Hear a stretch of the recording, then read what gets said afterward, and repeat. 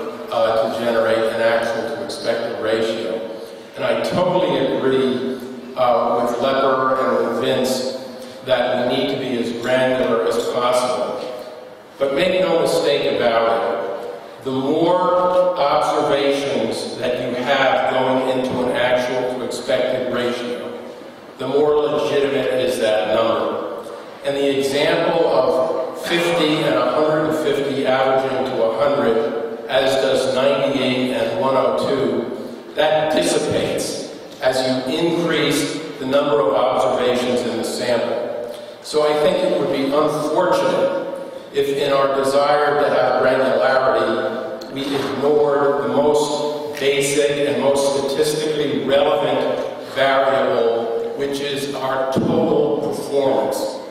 So, let me move on. Just have to say that one. Um, I'd like to talk about three different areas uh, of, of methodological issues. One, uh, the point estimate versus the mortality distribution methodology. Uh, second, I'll talk about some of the issues of actual versus restated A to E analyses. And then third, because I want you to know I have an open mind on the issue, uh, I'd like to talk about some methodologies for doing restated A to E, because this is something I've given a lot of thought to.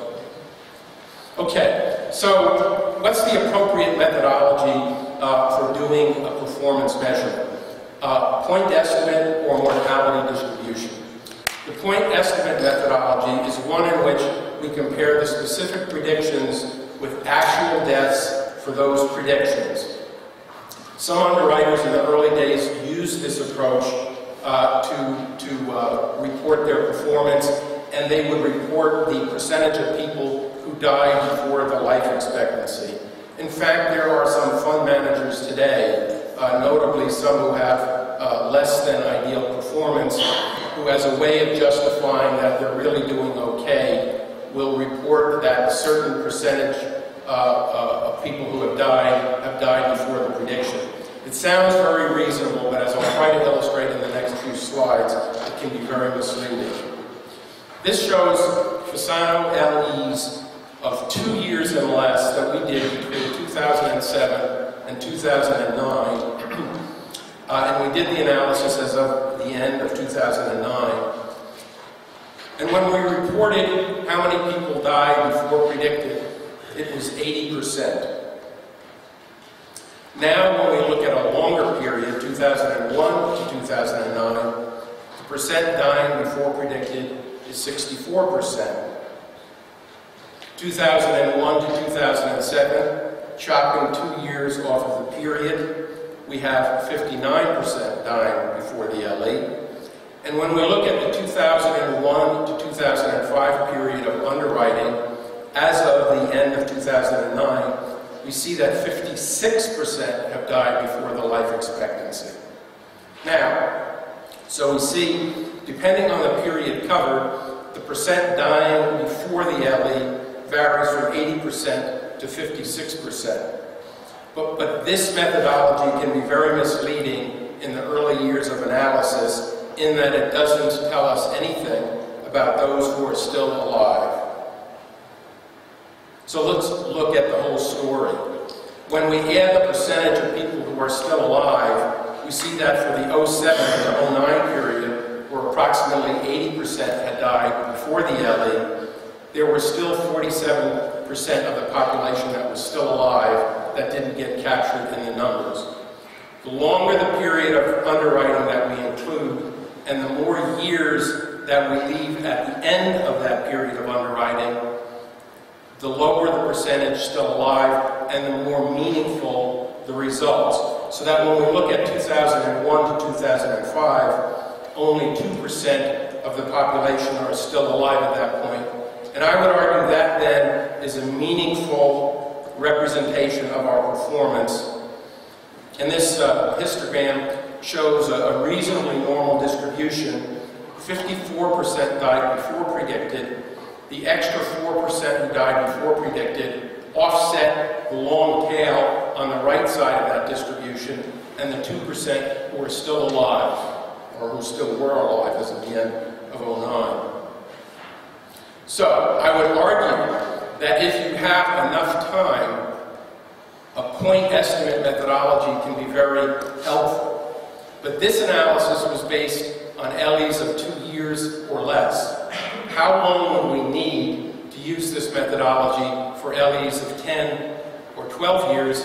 And the answer is a very long time, more time than, than, uh, than we have. And it's for this reason that we turn to the mortality distribution and I'd like to stress that once again, this is something that all the underwriters agree on, and it's a very fundamental element uh, of the analysis. So when we talk about the mortality distribution methodology, we're talking about a methodology in which we take each life expectancy prediction and the mortality distribution associated with that prediction. We aggregate the mortality distributions for all predictions to generate one aggregate mortality distribution for all our LE predictions. And then we compare actual deaths with predicted deaths as per the aggregate mortality distribution.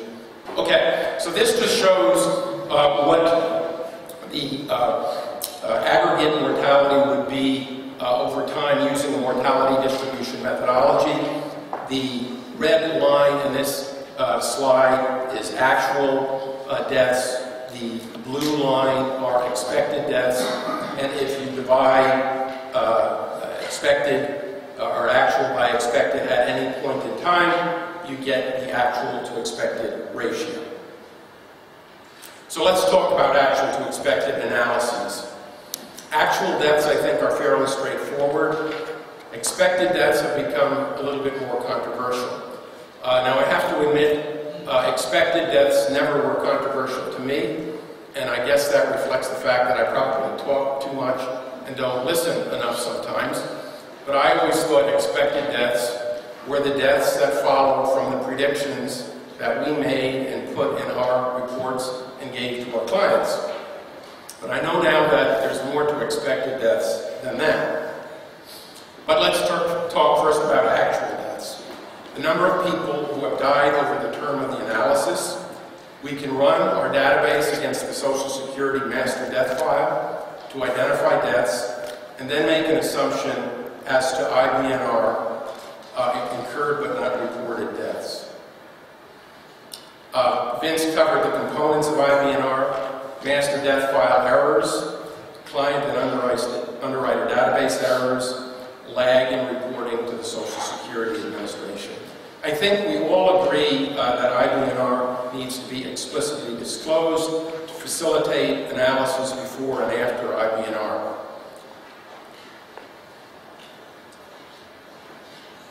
Let's talk now about expected deaths, because this has become controversial. For every life expectancy estimate, there's a distribution of mortality around that estimate. We need to disclose the mortality table used to build more the, the distribution around the point estimate of LA. I want to talk a little bit about the common table now, because we've had a lot of discussion about that. The argument for the common table is very straightforward. If underwriters in one set of analyses use a common table to build the distribution around their point estimates, we will facilitate apples to apples comparisons among the LE underwriters. This doesn't mean that we're limited to doing this. It means that we would do one set of analysis based on this. And if the Lisa Cat table was inadequate, and I have to admit I wasn't a fan of that table either, then let's come up with one that is adequate. And bear in mind, back solving for a mortality rating is common practice in the industry. The Milliman model is developed in that method, now the MAPS model. You take life expectancy, you enter it into the Milliman model, you pick the mortality table of your choosing, it solves for the distribution around that, and investors commonly do that and compare the results among LE underwriters. So it's not that complicated or difficult of a task. And once again, I've never argued that it's the only analysis but that it is a useful analysis because if you don't, you can have the undesirable situation where two underwriters give the same life expectancies on the same portfolio, but by virtue of the slope of the mortality tables they use, end up with different results.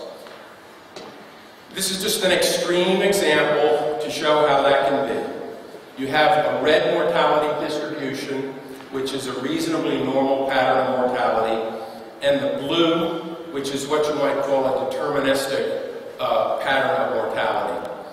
Both have life expectancies of 11 years, but if you were to do an actual to expected analysis and chart out the actual deaths for the first 10 years, the underwriter with the blue distribution would generate a significantly higher actual to expected than the underwriter with the red distribution, even though both underwriters had given the same exact life expectancies on all the cases in the portfolio.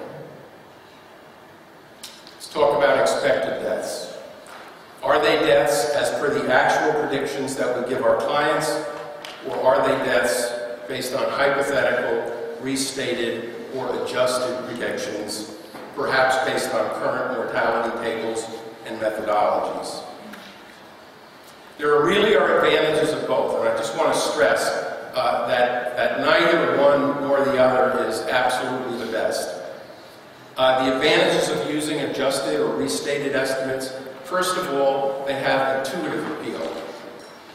They're a measure of how accurate our current methodology and mortality tables are, and what value is there in dwelling on past mistakes? What are some of the disadvantages? Adjusted analyses are difficult to audit. Actual LE estimates are documented, documented. An auditor could look at our database and compare what we have reported with what our reports actually indicated Whereas when we use restated estimates, how does the user of our report know that the methodology and the tables that we say we're using today are in fact the tables and methodologies we're using today, and more important, are the methodology and tables that we'll be using tomorrow or the next day. Second of all, as I'll try to illustrate a little bit later on in the presentation, uh, adjusted ATE analyses are difficult to do right, and they favor those, I would argue, who use a more simple approach to improving actual to expected. That is to say, those who change their mortality tables and don't also change their underlying model or debiting. Third, there's a question of relevance. If our current business mix is different than our prior business mix, that is to say, if we have less viatical business than we did 10 or 12 years ago. If we have less premium finance than we did three or four years ago, there's a real question as to whether benchmarking our underwritings from five to 10 years ago based on our current business is relevant. So let's just go over some questions. First of all, will the ultimate investor realize that quote-unquote current basis, uh, actual to expected, really means hypothetical adjusted A to E based on restated estimates? I think terminology is very, very important. And I would ask whether there's any reason for us not to label clearly current basis as hypothetical, adjusted, and restated. Third, does actual A to E have any relevance? So I've got um, an example here, and maybe uh, pay attention and get some audience participation if we could. We've got three underwriters, underwriters A, B, and C, all of whom have restated A to E's of 100%, but underwriter A has an actual A to E that is based on the actual predictions given to his clients of 95%. Underwriter B had an actual A to E of 100. Well, first one had 95%, underwriter B had 105%, and underwriter C had 65%. So I'm going to give the audience four options. You can pick either underwriter A, underwriter B, underwriter C, or any of the above. Who would pick underwriter A? Okay, so no one would pick underwriter A. Underwriter B. We've got a show of hands, okay. People are timid here. There's a lot of this, none of this. Um, okay, underwriter C. Okay, underwriter A and underwriter C aren't doing so well. And who uh, would think it doesn't matter, that any of them could be just as good as the other?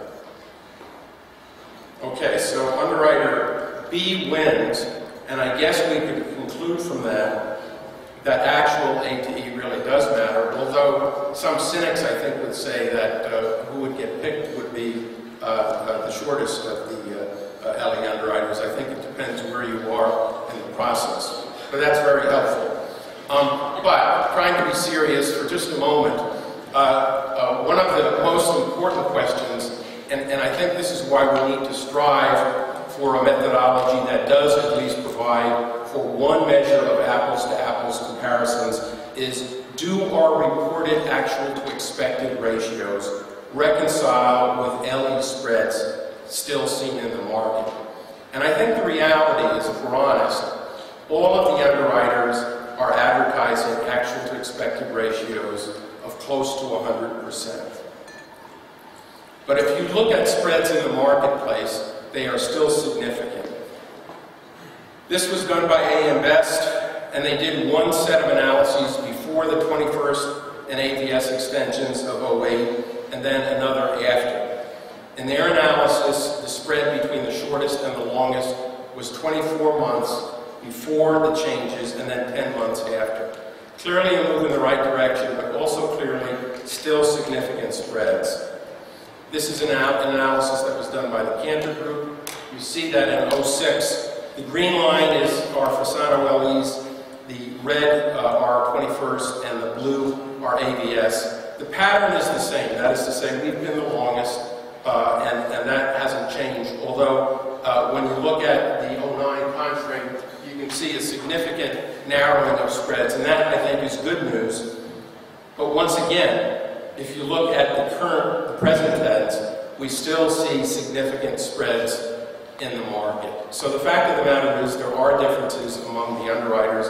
That's not necessarily bad, but I would think those differences should be reflected in our A to E results. And if they're not, I think that could raise questions about the validity of those results. This was a larger portfolio done in 2010 of over 1,200 lives It was underwritten by Fasano AVS and 21st, and the spread between the longest and the shortest in this portfolio was, was a little bit over 14 months, or 11%. Uh, I've seen a lot of comparisons, and I've yet to see a comparison today or before in which there weren't significant spreads among the LE underwriters. So let's talk about the last area, uh, and that is methodologies for doing a restated ADE analysis. And I want to stress once again, I think there's value to doing restated analyses as long as you practice truth in advertising and make it clear that that's what you're doing, and as long as you disclose explicitly how you made your adjustments. So, if you don't change your debiting or underwriting model, doing an adjusted A to E is fairly straightforward. You solve for and plug in the mortality table that would give you 100% A to E. I would argue if you use this approach, you will inevitably estimate too short on certain lives and too long on other lives, because we all know that mortality improvement is impairment specific. And if cardiovascular mortality has improved dramatically over the last 20 to 30 years, as it has, our view is the best way to adjust for that is in our risk assessment, in our debiting, in the mortality ratings that we associate with cardiovascular disease, and not to try to bury that into a mortality table change. But different people can have different views, and I accept that. I would just make the point, if you take the view that I do, that we need to change both our debiting and our tables, then doing an adjusted analysis becomes more of a challenge and very assumption dependent. So, three options for doing an adjusted ATE analysis. One would be to re-underwrite every file that you've ever seen. The second would be to re-underwrite sample cells and apply the results of those re-underwritings to the larger populations from which they were derived. And the third would be to benchmark our old mortality ratings to our current underwritings and then apply adjusted uh, mortality ratings to the current mortality tables. In every instance, I would ask the question, can the restated actual to expected analysis be validated? I think this is a very, very important consideration. So let's talk about re-underwriting sample cells because clearly re-underwriting an entire block of business would not be feasible. At Fasano, we have 15 primary impairment categories. This is less than most underwriters. But working with just 15 primary impairment categories and 10 years that we've been in business would generate 150 cells to start with if we were to do a sample cell re-underwriting methodology. If we require a minimum of 20 uh, files or 20 underwritings per cell, that gets us up to 3,000 re-underwritings. We would calculate the average of the re-underwriting life expectancies to that of the prior underwritings and apply that ratio from the sample cells to the policies or files in the larger populations from which those samples were derived. But is it reasonable to assume the same ratio change in life expectancies across mortality ratings, or might it be more reasonable to uh, break the cells down further so that you compare changes of underwritings with low mortality ratings versus those, let's say, with high mortality ratings. If you do that, that, that simple change, you've doubled now your, your re-underwritings from 3,000 to 6,000. But perhaps as important, how does the user validate that the re-underwritten cells weren't manufactured to get the desired result? Now, I'm not suggesting we would do that or anyone would do that, but the fact of the matter is, if you can't validate how we came up with the re-underwritten or adjusted results, I would argue it would call question to those results. So let's talk about benchmarking, which I think ultimately, uh, for those of us who have changed both our debiting and our tables, is probably the best approach. This entails stratifying the database by year and by mortality rating deciles. So that you look at, in every year, what was the median mortality rating of cases we underwrote, what was the mortality rating at the 10th decile, the 20th, 30th, and so forth. And you apply those current mortality ratings to the appropriate deciles from earlier underwritings. So, for example, if our median mortality rating today is 150, 15%, and if in 2001 it was 150%, then we would adjust mortality ratings from 2001 of 150% down to 115% to be consistent with our current underwritings. And we would then apply those mortality ratings to our current mortality tables. I think that's a reasonable methodology, but it presumes that business in 2001 was the same as it is today, which may or may not be the case. So what are some questions on benchmarking? Should we split the mortality rating deciles further by age, for example, and do decile comparisons of younger ages underwritten today to younger ages underwritten earlier, and a separate analysis of older ages underwritten today to older ages written earlier? How do we define current underwriting? Let me get some audience participation. I'll give four choices. 2009, the year after the uh, adjustments. 2010, the most current year. An average, a simple average of 09 and 2010, or a weighted average of 2009 and 2010. Who would vote for 2009? Okay. We're running short on time, so I'm not going to ask you.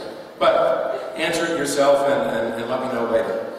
Um, do we include clinical judgments with calculated equivalent mortality ratings in the analysis? A lot of what we do are research-based clinical judgments for which there isn't a mortality rating.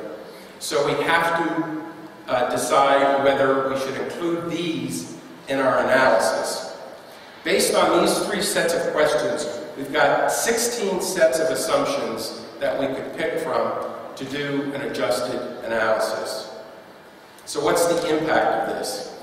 In 2007, our median mortality rating was 125%. Our minimum mortality rating was 100%.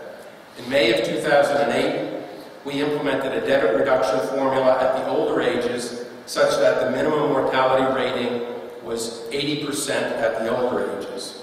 So we have to decide, once again, for age benchmarking, do we include all ages or do we segment out older from younger ages? Do we include or exclude clinical judgments? And what benchmark period do we use?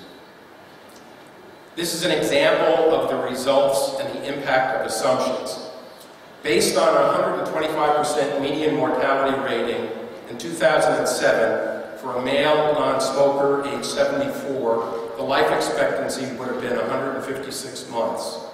If we were to adjust that based on 2010 underwritings, including clinical judgments in our benchmarking, and using age-distinct cohorts to do the analysis, the result we would get would be 151 months, or five months less than we had originally.